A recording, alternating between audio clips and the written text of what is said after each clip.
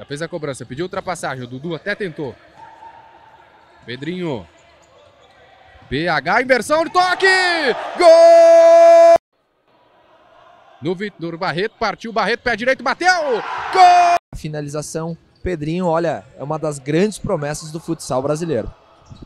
Cauãzinho, que bola pro Pedrinho, pintou, golaço!